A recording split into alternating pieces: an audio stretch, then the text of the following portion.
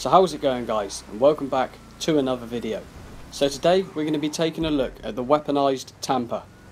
I'm going to be showing you some of the key features of the vehicle.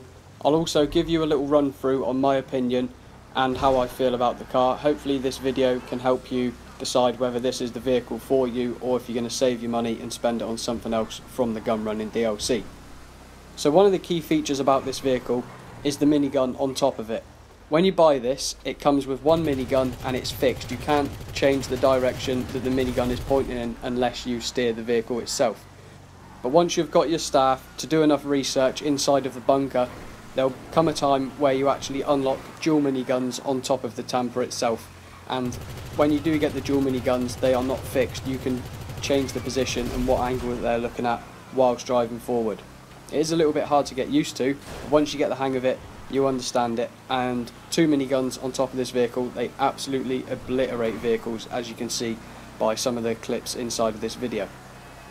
Whether you've got the single minigun or the dual minigun mounted on top of the vehicle, they both have unlimited ammo, which is really good. You wouldn't really expect to run out of ammo on a minigun that is strapped to a vehicle. That would be quite unfair, especially for the price that you pay. When you buy the car without the trade price, the vehicle will cost you just over 2.1 million in-game dollars. So that is quite expensive.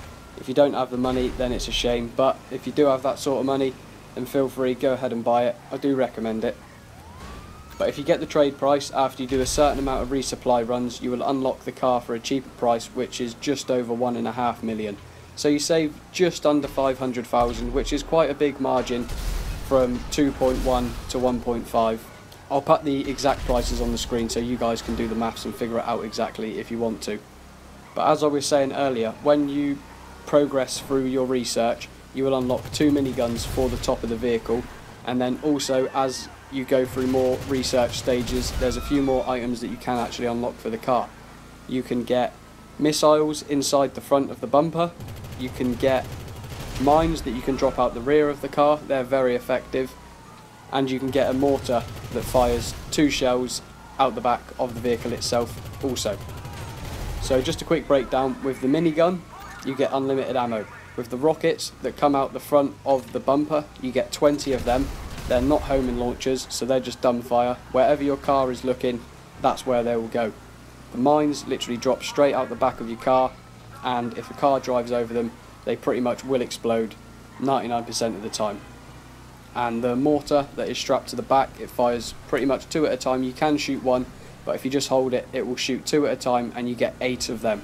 So in total that is 20 rockets that come out the bumper 8 mortars that come out the back unlimited mines that you can only use 5 at a time which is fair enough. That's the same as if you're walking around on foot and using sticky bombs or proximity mines.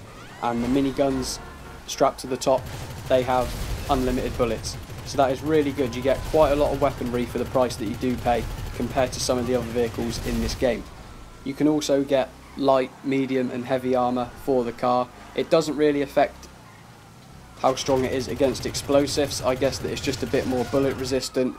You can get shot out the vehicle quite easy, but that goes for the majority of vehicles in this game, so you're not really losing out anything there.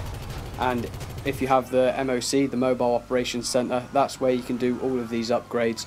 You get paint jobs, liveries, they look really, really nice, and all your standard upgrades that you can do on the majority of cars, your engine, transmission, turbo, all that stuff. So you get the bare basics for the upgrades that you can do on the majority of cars in the game, plus a lot more.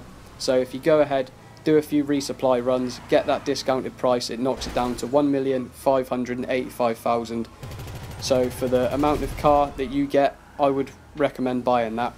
But when you do buy it, I just want to stress this, you will literally get the vehicle with one minigun on top. You have to do research and then unlock the items that you can then equip to the car, but they also cost money themselves.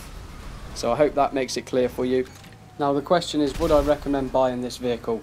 The answer is yes, 100%.